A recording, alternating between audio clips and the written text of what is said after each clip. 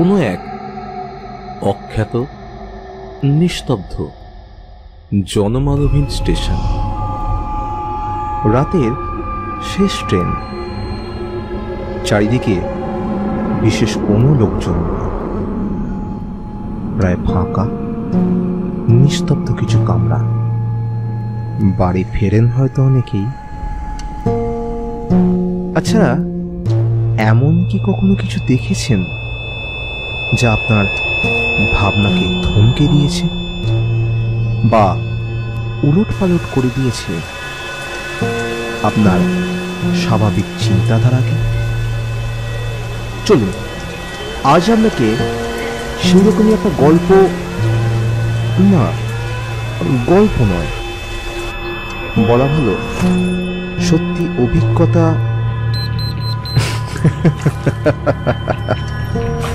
না থাক। আগে শুনুন, তারপর না হয় আপনারাই সিদ্ধান্ত নেবেন? এটা গল্প না সত্যি? ছাড়ুন, চলুন শোনা যাক, ওই লোকগুলো কি কথা বলছেন।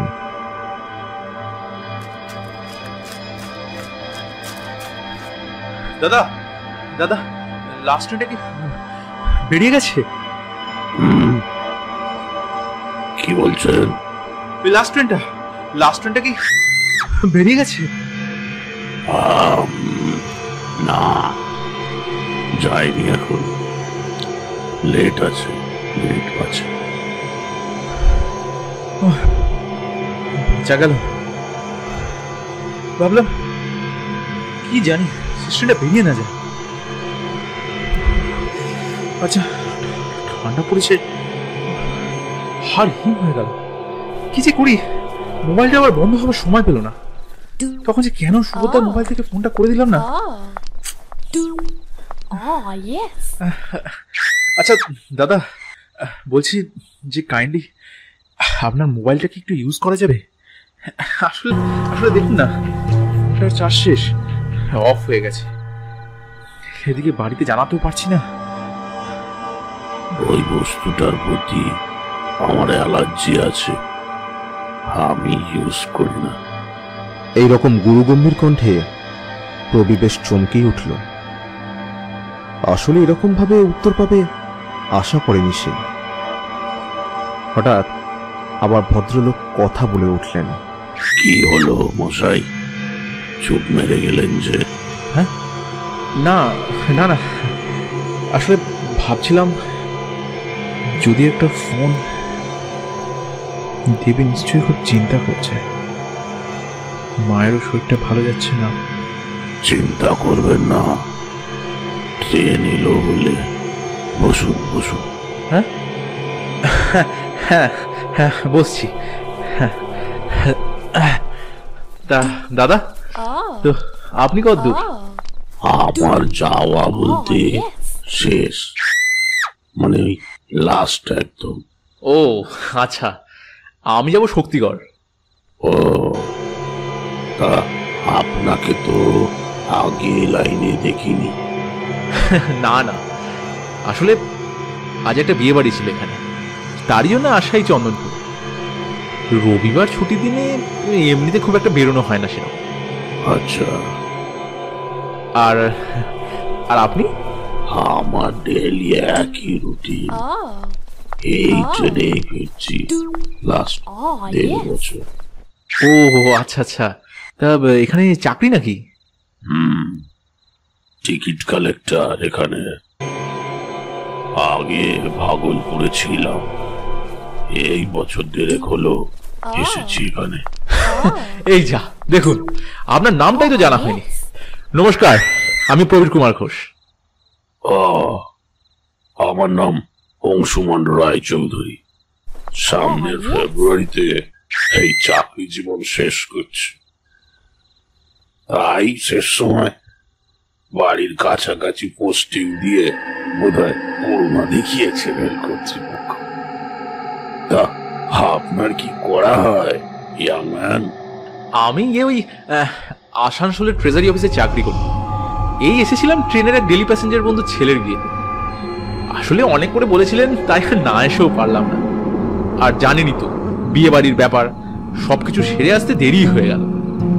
প্রায় হাজার খানেক নিমন্ত্রিত। ভিড়ও ছিল বেশ, ব্যাস, দু দুটো ব্যাচ মিস হয়ে গেল, আর তাতে এই দেরি।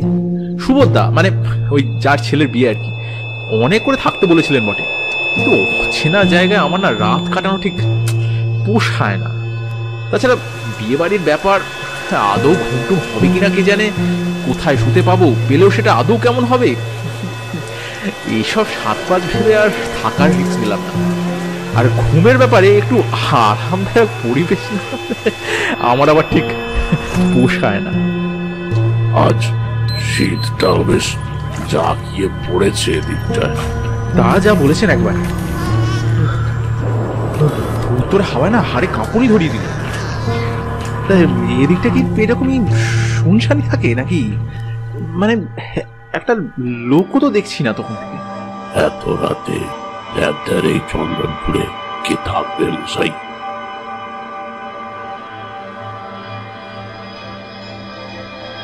হঠাৎ দূর থেকে হর্ন দিতে দিতে অন্ধকারে কুয়াশা ছিঁড়ে ট্রেনটার আলো দেখা গেল। উফ যাক বাবা। শেষ অব্দি আসছে ট্রেনটা। চলুন যাওয়া যাক। আপনি টিকিট করেছেন তো? এই দেখুন জিজ্ঞেস না করে পারলাম না। আসলে বলে না স্বভাব যায় না বলে। প্রফেশনই বাধ্য করল জিজ্ঞাসা করতে। তা আপনার কাজ আপনি করেছেন? টিকিট একেবারে রিটার্ন কেটে এসেছি।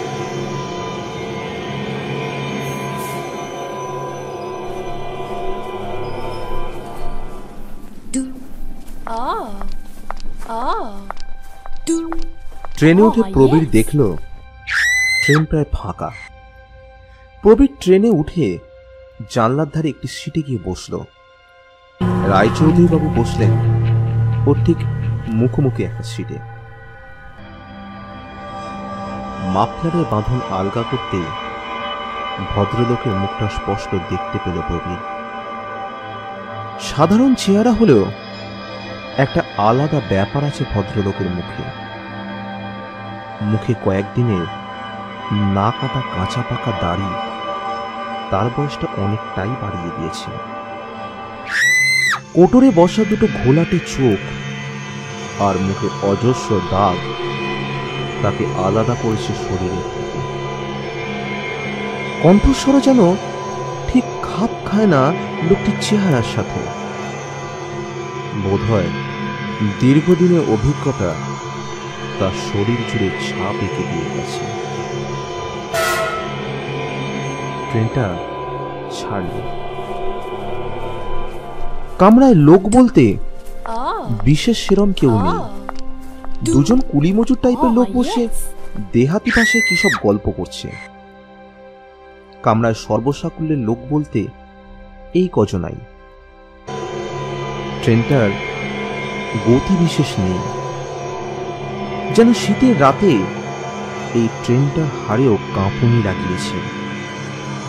কোন রকমে আজ তাকে যেন কেউ জোর করে কাজে পাঠিয়েছে। প্রবীর তার বাড়ির কথা চিন্তা করতে থাকে।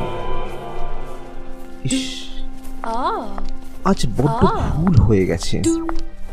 সত্যি এত রাত হয়ে যাবে একদম বুঝতে পারিনি।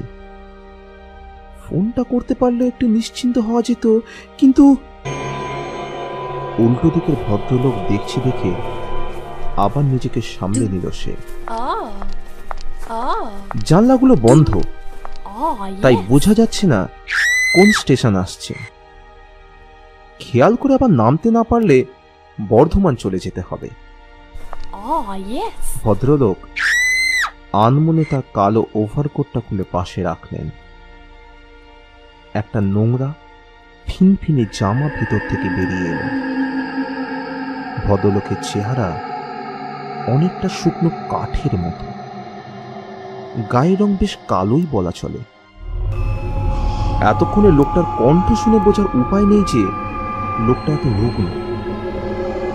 চোখটা আধবোঝা করে গাটা হালকা ডান দিকে হেলিয়ে গুনগুন করে গান ধরলেন ভদ্রলোক।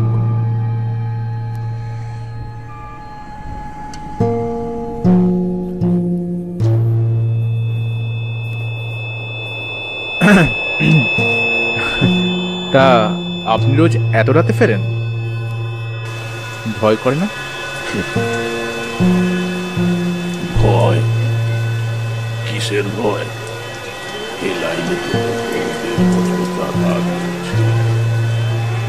তো কিছু দেখিনি আর ভয় ভয় নাকি? মানুষের থেকে আছে বলে তো মনে হয় না। আর ঠিকই বলেছে। আসলে আমি ভূতের কথা বলিনি। ট্রেনে ওঠার পর থেকে দেখছি কোনো সিকিউরিটি নেই। তাই মানে যদি রাতে ওই মানে খারাপ লোক গুন্ডা বদমাস যদি ওঠে আর কি। সিকিউরিটি হাসালেন মশাই সাধারণ মানুষের এদেশে আমার সিকিউরিটি কি? ভালো বলেছেন না মশাই, সেই রকম অভিজ্ঞতা কিছু হয়নি আপাতত তবে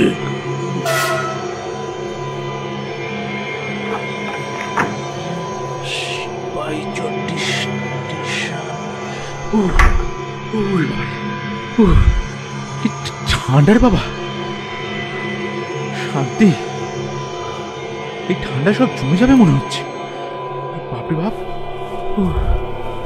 আপনার আপনার ঠান্ডা লাগছে না. না. সেরা আমার লাগছে কই. খুব অভ্যাস হয়ে গেছে। রোজের কারবার আর আমরা হলাম গিয়ে রাতের যাত্রী। ও সব কাজ হওয়া। ও ও আচ্ছা আচ্ছা আচ্ছা। হ্যাঁ, সেই বলুন। তা, কি যেন বলছিলেন তখন?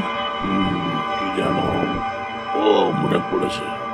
এইখানে পোস্টিং হওয়ার পর আমার এক কলিগ একটা গল্প শুনিয়েছিলেন বটে। তবে সেটা ঠিক ভূতের নয়। কি- কি গল্প? শুনবেন? তা তা শুনলে মন্দ হয় না। বেশ গল্পে গল্পে সময়টা কেটে যাবে। গল্প? গল্প না অভিজ্ঞতা বিষয়টা আমার কাছে সম্পূর্ণ অজানা। তবুও সে এমন ভাবে আমার ঘটনাটি বর্ণনা দিয়েছিল তা আমার মনে এখনও ছবির মতো বিতে আছে। এই লাইনেরই ঘটনা ছিল এটা। বছর দশেক আগে তখন এইখানে জনসমাগম কম ছিল এখন থেকে. এই রকমই এক শীতের রাতে বাড়ি ফিরছিল এক ভদ্রলোক। হয়তো কাজের জন্য বা অন্য কোনো কারণে দেরি হয়েছিল। তখন লোকজন বিশেষ কেউ ছিল না ট্রেনের কামরায়। প্রায় ফাঁকা একটা কামরা। ট্রেনটা শিবাইচল্লি স্টেশন এসে দাঁড়াল। একে একে যে কজন যাত্রী ছিল সবাই নেমে গেল। ভদ্রলোক চারিদিকে চেয়ে বুঝতে পারলেন Oh. তিনি Ah. সম্পূর্ণ একা বসে আছেন Oh, কামরাটায় তিনি উঠে দরজার কাছে এসে দাঁড়ালেন। প্ল্যাটফর্মটায় লোকজন নেই একদম। প্ল্যাটফর্মটায় যে কটা দোকান ছিল Oh. সব বন্ধ হয়ে গেছে অনেকক্ষণ আগেই। Oh, পুরো নিস্তব্ধ। নিঝুম প্ল্যাটফর্মটায় ঝিঝির ডাক ছাড়া কিছুই শোনা যাচ্ছে না। হঠাৎ Oh, সেই yes. নিস্তব্ধতাকে খান খান করে ভেঙে দিয়ে মাঠ প্রান্তর মুখরিত করে ট্রেনের হুইসেল ডাক দিল। ছাড়ল ট্রেনটা।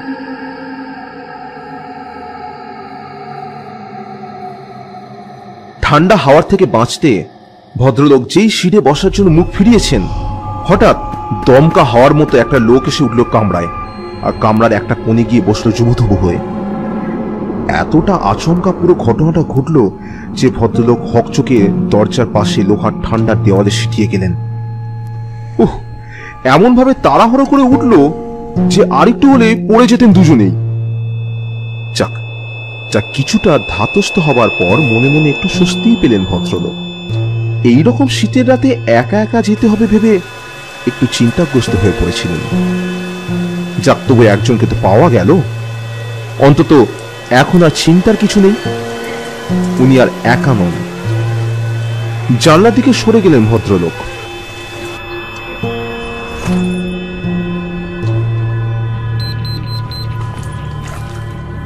চুপচাপ বসে আছে দুজনে। একটিও কথাবার্তা বলছে না কেউ। গোটা কামরাটায় আর কোনো জনপ্রাণী নেই। শুধু ট্রেনের চাকার তীক্ষ্ণ শব্দ শোনা যাচ্ছে। ভদ্রলোক জানলার দিকে তাকালেন। জানলায় লোহার পাল্লাটা ভেঙে গেছে। কাঁচের শাটারটা শুধু নামানো কিন্তু সেটাও কুয়াশা পরে আবজা হয়ে গিয়েছে। দেখা যাচ্ছে না কিছু। মাঝে মাঝে লেভেল ক্রসিং এর আলো ধূসর হয়ে জানলা দিয়ে পড়ছে। এইবার লোকটাকে দেখলেন একবার আর চোখে বেশ শীত শীত বোধ করতে লাগল হঠাৎ। তাই পকেট থেকে সিগারেটের প্যাকেটটা বার করলেন। দেশলাই বের করে সিগারেট ধোয়াতে যাবে অমনি একটা বিশ্রী কাণ্ড ঘটে গেল। দেশলাইয়ের প্যাকেটে কাঠি একটাই ছিল। আর সামান্য অসাবধানতার জন্য সেটা হঠাৎ নিভে গেল। এবার কি করবেন উনি. ভাবতে ভাবতে. অন্যদিকে বসে থাকা লোকটার প্রতি দৃষ্টি Oh, গেল তার। আপাদ মস্তক কম্বল জড়িয়ে বসে আছে লোকটা। মাথায় টুপি আর মাফলারের মাঝে লোকটার মুখটা দেখা যাচ্ছে না একদম। বোধহয় লোকটি একটু বেশি শিক্ষাতুরে। কিন্তু এখন এসব ভেবে কি হবে? সিগারেট খেতে গেলে ওই অপরিচিত লোকটার কাছে আগুন চাইতে হবে। তাই উপায় না দেখে সামান্য গলা খাঁকড়িয়ে বললেন দাদা? ও দাদা শুনছেন? বলছি আপনার কাছে একটু আগুন হবে? কোনো উত্তর নেই। আগের মতোই নিরুত্তাপ হয়ে বসে রইল। ভদ্রলোক একটু অপ্রস্তুত হলেন। লোকটা কি শুনতে পায়নি না ঘুমোচ্ছে। আবার একবার জোরে ডাকলেন। ও দাদা। দাদা। শুনছেন না কি রে? বলছি একটু আগুন হবে নাকি? লোকটি কোনো উত্তর দিল না এবারেও। তবে নড়ে চড়ে বসলে একবার। কিন্তু ভদ্রলোকের দিকে তাকালো না এবারেও। yes. আশ্চর্য হলেন ভদ্রলোক। এই আবার কি? শুনতে পেয়েও কোনো উত্তর দিল না। শুধু গায়ের কম্বলটা আলো ভালো করে জড়িয়ে নিল। এইরকম আচরণ করছে কেন? যেন খুব অস্বস্তি বোধ করছে কোনো কারণে। ভদ্রলোক বোধহয় অনেকক্ষণ লোকটা এইরকম অস্বাভাবিক আচরণ লক্ষ্য করছিলেন। হঠাৎ চটকা ভাঙল চাকার একটা বিকট আওয়াজে। স্বাভাবিকতেই সবার প্রথমে চিন্তা করলেন কোন স্টেশন পেরোলো গাড়িটা. এই শক্তিগড় পেরিয়ে গেল না তো? সর্বনাশ। তাহলে তো স্টেশনেই রাত কাটাতে হবে। উপরন্ত পরের দিন গিন্নির ঝাড় শুনতে হবে। এই ভেবেই চিন্তাগ্রস্ত হয়ে পড়লেন। থাকতে না পেরে লোকটাকে জিজ্ঞাসা করলেন দাদা শুনছেন? বলছি কোন স্টেশন গেল একটু বলতে পারবেন. ও দাদা আরে শুনতে পাচ্ছেন না নাকি? কোনো উত্তর নেই। শুধু একবার মুখটা ফেরালো ভদ্রলোকের দিকে। না। Oh, মুখটা ওনার দিকে ফেরালেও সেটা দেখার কোনো উপায় ছিল না। শুধু একজোড়া চোখই নজরে পড়ল। আর কিচ্ছু নয় কামরার অল্প আলোতে যা দেখা গেল তাতে বেশ অবাকই হলেন ভদ্রলোক। চোখ দুটো লাল টকটক করছে। ওনাকে ভালো করে দেখল একবার। তারপর আবার মুখটা জানলার দিকে ফিরিয়ে নিল। তাও একটা কথাও বলল না। ভদ্রলোক আবার ডাকলেন। ও দাদা শুনছেন? আরে বলছি আগের কোন স্টেশন গেল একটু বলতে পারবেন? কোনো উত্তর না পেয়ে ভদ্রলোক কি করবেন চিন্তা করছেন? এমন সময় ট্রেনের গতিটা কিছুটা কমলো। জানলার দিকে মুখ ফিরিয়ে দেখলেন, একটা স্টেশন। প্ল্যাটফর্ম সেটের আলো দেখা গেল আবজা হয়ে। উৎকণ্ঠা নিয়ে তড়িঘড়ি জানলাটা অল্প একটু ফাঁক করে দেখলেন ভদ্রলোক। যাক বাবা, নিশ্চিন্ত। এখনও তিনটে স্টেশন দ্রৌগ্রাম সবে। স্বস্তির একটা দীর্ঘশ্বাস অজান্তেই মুখ দিয়ে বেরিয়ে এলো। এরপর আবার ওনার নজর পড়ল লোকটার দিকে। ওর আচরণে কিছুটা পরিবর্তন হয়েছে। ভদ্রলোক ওর দিকে এক দৃষ্টিতে দেখছেন দেখে লোকটা একটু নড়ে চড়ে উঠে এক হ্যাঁচকাটানে কাঁচের সারসিটা খুলে দিল। বাধা না পেয়ে ঠান্ডা হিমেল হাওয়া হুড়মুড় করে কামড়ায় ঢুকে পড়ল। এই হাওয়ায় ভদ্রলোকের হাড় পর্যন্ত কাঁপিয়ে দেওয়া জোগাড় হলো।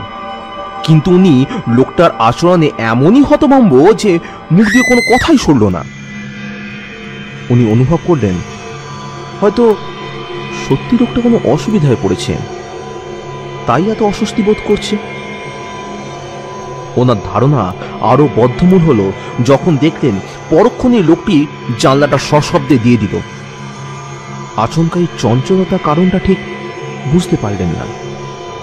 এখন গোটা কামরাটায় আর কোনো যাত্রী নেই। শহরই বলতে ওনারা শুধু দুটো মানুষই। মানবিকতার জন্যই উনি ভাবলেন লোকটার শরীরটা বোধ হয় খুব অসুস্থ, তাই এমন করছে। যদি কোনো সাহায্য করতে পারেন তাহলে হয়তো ভালো হবে। এই চিন্তা করে আবার ডাকলেন। বলছি আপনার কি কোনো শরীর খারাপ লাগছে নাকি? মানে কোনো কষ্ট হচ্ছে আপনার? আমাকে বলতে পারেন? আমি কি আপনার কোনো সাহায্য করতে পারি? ভদ্রলোক হঠাৎ চুপ করে গেলেন, লোকটার লাল চোখ দেখে। রাগ আর ঘৃণা যেন ঠিকরে বেরোচ্ছে ওর দু চোখ দিয়ে। লোকটা কম্বলটা আরেকটু জড়িয়ে নিয়ে অন্যদিকে তাকাতে যাবে। এমন সময় ভদ্রলোক যা দেখলেন, তাতে বেশ অবাক হয়ে তাকিয়ে রইলেন ওর দিকে। আপাদমস্তক কম্বল জড়িয়ে থাকার জন্য কিছু বোঝা যাচ্ছিল না এতক্ষণ। কিন্তু কম্বলটা টানাটানির জন্য হাতের একটা অংশ কম্বলের বাইরে হঠাৎ বেরিয়ে পড়ল। সেই হাতটাই চোখ টানল ভদ্রলোকে। অনেকগুলো আংটি রয়েছে হাতটায়। দূর থেকে দেখে মনে হলো অনেকগুলি সোনার। ট্রেনের মধ্যে থাকা আলোয় ওগুলো বেশ চকচক করছে. আংটিগুলোয় অনেকগুলো পাথর বসানো আছে আর তার প্রত্যেকটাই বেশ দামি পাথর দেখে বোঝা যাচ্ছে। মনে হচ্ছে লোকটি জ্যোতিষে একটু বেশি বিশ্বাস করে। কিন্তু এমন করে কম্বল জড়িয়ে আছে কেন? এইভাবে ভদ্রলোক ওর হাতটার দিকে দেখছিল বুঝতে পেরে লোকটা একটু নড়ে চড়ে বসল। কম্বলটা আরও কিছুটা জড়িয়ে নিয়ে হাতটা কম্বলের ভেতর ঢুকিয়ে নিল। আর চোখে দেখল একবার। আরও একটু জানলার দিকে সরে গেল। এমন সব কাজে বেশ আশ্চর্য ও অবাক হলেন ভদ্রলোক। Oh, আস্তে আস্তে ওনার মনে সন্দেহ দানা বাঁধতে লাগল।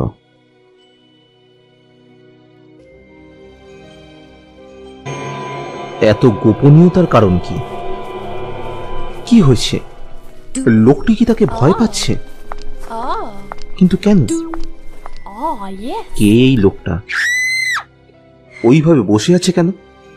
আচ্ছা ওভাবে ছুটে এসে ট্রেনটাই উঠল কেন? Oh, কেমন যেন একটা দেখতে। এই সব চিন্তা করছেন ভদ্রলোক এক মনে। একইভাবে বসে আছে লোকটা। আশ্চর্য। এত জোরে ডাকছেন। অথচ শুনতেই পাচ্ছে না। বা পেলেও কিছু উত্তর দিচ্ছে না। তবে কি তার সন্দেহ ঠিক? কোনো বদ মতলব নিয়ে উঠেছে নাকি লোকটা? না, অন্য কোনো কারণে চুপ করে আছে। আরও কিছুক্ষণ নিশ্চুপ হয়ে কাটল। কিন্তু মানুষ কতক্ষণ চুপ করে বসে থাকতে পারে? একটা সময় তো সে কথা বলবি এই ভদ্রলোকেরও তাই অবস্থা হলো। লোকটিকে ভালো করে নিরীক্ষণ করতে লাগলেন তিনি। গায়ে কম্বলটার জন্য ভালো করে বোঝা না গেল, বেশ দশাশই চেহারা বলে মনে হলো। কিন্তু মুখটা দেখা যাচ্ছে না। ধুর, এসব কি ভাবছেন তিনি? শুধু শুধু একজন মানুষকে প্রমাণ ছাড়া অবিশ্বাস করা তার মোটেই উচিত হচ্ছে না। হয়তো সত্যিই লোকটা কোনো বিপদে পড়েছে বা ওনাকে বিশ্বাস করতে পারছে না। তাই হয়তো। আর এর থেকে কি বা বিপদ আসতে পারে? কারণ ওনার থেকে ঢের বড় লোক এই লোকটা। হাতে চেয়ারাই তার পরিচয় দেয়। এতগুলো সোনার আংটি রয়েছে আঙুলে। আর তার অবস্থার কথা স্বয়ং ঈশ্বরই জানেন। বউ একটা নাক ছাবি কিনতে বললে আঁতকে ওঠেন খরচের ভয়ে। আর তিনি কিনা ওই রকম একটা বিত্তশালী ব্যক্তিকে সন্দেহ করছেন। বলি আর এই চিন্তাধারা। মনে মনে হাসলেন তিনি। কিন্তু মানুষের মনের থেকে চঞ্চল। বোধহয় এই পৃথিবীতে আর কিছু নেই। তাই সে যে মানুষকে সহজে এক মুহূর্তে বিশ্বাস করতে পারে, সেই পরের মুহূর্তে কিছু কারণবশত অবিশ্বাসের চাদরে তাকে মুড়ে দিতে পারে অনায়াসে। এনার ক্ষেত্রেও তার অন্যতা হলো না। কিছুক্ষণ পরেই তার পুরনো চিন্তা ভিড় করে এলো মাথায়। অন্ধকারে মুখ দেখা না গেলেও Oh. মাত্র একজোড়া লাল টকটকে চোখ দেখতে Oh, পেয়েছেন। লোকটি কালো না ফর্সা সেটা চোখ দেখে বোঝার উপায় না থাকলেও লোকটা সেই বিরক্তি আর রাগের চাউনি মন থেকে সরাতে পারছেন না কিছুতেই। তবে তার হাত? হ্যাঁ হ্যাঁ সেটাই একবার মাত্র দেখার সুযোগ হয়েছিল তার। ফর্সা সুঠাম গঠন ছিল হাতটার। বেশ বড় লোক যদিও লোকটা, তাও নিজেকে এত গুটিয়ে রেখে গোপন রাখতে চাইছে কেন? লোকটিকে দেখে তার ভয় বাড়তে লাগল ক্রমশ। মধ্যবিত্ত বাঙালি অবচেতন মনে ভালোর চেয়ে খারাপ চিন্তাই বেশি ভিড় করে। তাই মধ্যবিত্ত এই ভদ্রলোকটি চিন্তা করতে লাগলেন তার সম্ভাব্য বিপদের কথা। অন্ধকার রাত্রে এই ফাঁকা ট্রেনে যদি অতর্কিতে ঝাঁপিয়ে পড়ে তার উপরে? পয়সা করে বিশেষ কিছু না থাকলেও তার এই প্রাণটা? কিছু না পেয়ে যদি খুন করে, তবে কি করবেন তিনি? হঠাৎ তার চোখ পড়ে গেল লোকটির পায়ের কাছে। বিন্দু বিন্দু. কিছু একটা লাল রং জমাট বেঁধেছে তার পায়ের কাছে। কি ওটা? রক্ত? তবে কি লোকটা ঘায়েল হয়ে এই কামড়ায় উঠেছিল? কেউ কি তাকে? তিনি আবার লোকটার উদ্দেশ্যে বললেন এ- কি? এই রক্ত? এই দাদা এই আপনার কি হয়েছে? কোথাও লেগেছে আপনার? হ্যাঁ আমাকে বলতে পারেন? আরে- আমি যদি কিছু সাহায্য করতে পারি কি কি হয়েছে আপনার? কিন্তু মুখের কথা মুখেই রয়ে গেল। লোকটা বেঞ্চ ছেড়ে যেই উঠতে যাবে অমনি ট্রেনের ঝাঁকুনির টাল সামলাতে না পেরে Oh. পায়ের সামনে পড়ে থাকা রক্তে পাটা পিছলে গেল আর মুখের মাফলারে বাঁধনটা খুলে গিয়ে মুখটাকে দেখা গেল মুখটাকে দেখতে বিভৎস। অজস্র কাটার দাগ রয়েছে মুখে. আবছালোয় দেখতে পেয়েছেন লোকটাকে দেখতে কালো Oh, আর মুস্কো। প্রায় একই সময়ে ভদ্রলোককে বিস্ময় হতবাক করে তার পায়ের সামনে Oh. লোকটার কম্বলের মধ্যে থেকে গাছ থেকে খসে যাওয়া শুকনো ডালের মতো কামরার মেঝেতে পড়ে গেল ফর্সা রঙের। অনেক দামি আংটি পরা পুরুষের একটা কাটা হাত। ভদ্রলোক কাটা হাতটা দেখে আর্তনাদ করে উঠলেন। "এ- এ- এটা কি দেখছেন তিনি? হাতটা থেকে তখন রক্ত পড়ছে চুইয়ে চুইয়ে। এটা কি? কি এটা? এ তো এ তো কাটা হাত একটা। এমন সময় মারাত্মক একটা ঘটনা ঘটলো, যাতে ভদ্রলোকের বুকের ভিতর হৃৎপিণ্ডটা কেঁপে উঠল ভয়ে। এক মুহূর্তে প্রায় সব আলোগুলো নিভে গিয়ে নিকষ অন্ধকারে ডুবে গেল কামরাটা। ভদ্রলোক কাটা হাতটার দিকে চোখ স্থির রেখে চুপ করে বেঞ্চের উপর জড়সড় হয়ে বসে রইলেন। অন্ধকারে লোকটা ভদ্রলোকটিকে আপাদ মস্তক দেখল একবার। ভদ্রলোকটি হাতের দিক থেকে নজর সরাতেই পারছেন না। কাঠ হয়ে গেছেন তিনি। ছুটন্ত ট্রেনের কামরার জানলার কাঁচের মধ্যে থেকে চুকিতে আসা ছোট ছোট আলোগুলো মাঝে মাঝে কামরাটার মধ্যে এসে পড়ছে। আর সেই আলোতেই কাটা হাতটায় পড়ে থাকা আংটিগুলো থেকে চকচকে আলো প্রতিফলিত হয়ে মধ্যে মধ্যে কামরাটাকে আলোকিত করছে। এমন রাজ্যে তার জীবনে আসবে, কল্পনাও করতে পারেননি তিনি। এই রাতে অন্ধকারে কুয়াশার বুক চিরে ছুটে চলেছে ট্রেনটা। চলন্ত ট্রেন আর সিলিং থেকে ছোলা হাতলের শব্দ ছাড়া গোটা কামরাটা সম্পূর্ণ নিস্তব্ধ। কুয়াশায় ধূসর হয়ে যাওয়া কাঁচগুলোর মধ্যে দিয়ে সিগন্যাল পোস্টের ছোট ছোট লাল আলোগুলো যেন কোন নিশাচর প্রাণীর চলন্ত চোখ বলে মনে হচ্ছে। যারা এই ট্রেনটার গতিপথে সমানে নজর রেখে দিয়েছে। সময় যেন সময় যেন কাটতেই চাইছে না। এমন সময় আবার ট্রেনের লাইটগুলো জ্বলে উঠল। সাথে সাথে ভদ্রলোক উঠে দরজার দিকে দৌড়তে যাবেন। লোকটি একটি রক্তমাখা অস্ত্র বার করে অবলীলায় মিছে থেকে পড়ে থাকা কাটা হাতটা তুলে নিয়ে. ওনার দিকে তাকিয়ে ধমকে উঠল। যাই আছে ভাগ বেঞ্চ চমকে উঠলেন তিনি।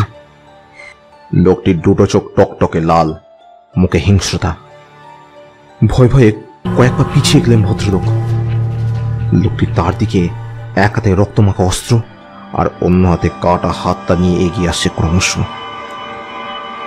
তখন হাতটা থেকে টপ টপ করে রক্ত ঝরে পড়ছে চুপ রা ভসে গে কাই পারবি জুবান খুলি না জান লেলেম তোহার का का दिखाता रही उन नजर से हाँ चल चल साइड हो साइड हो साइड हो उधर साइड हो